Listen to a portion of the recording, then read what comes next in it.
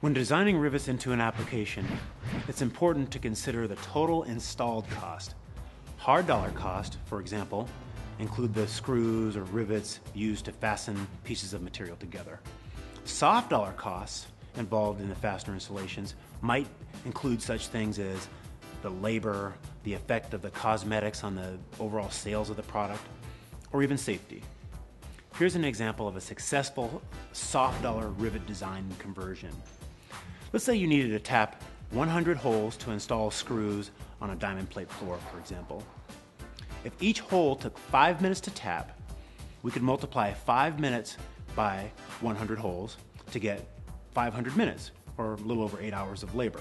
At $40 per hour of on and off job labor, this means time on the job and time away from other work. The total labor cost is about $320 at that rate.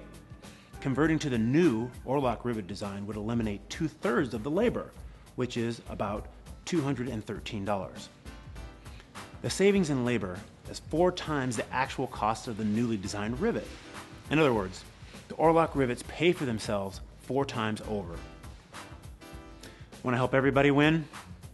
Design the rivet in.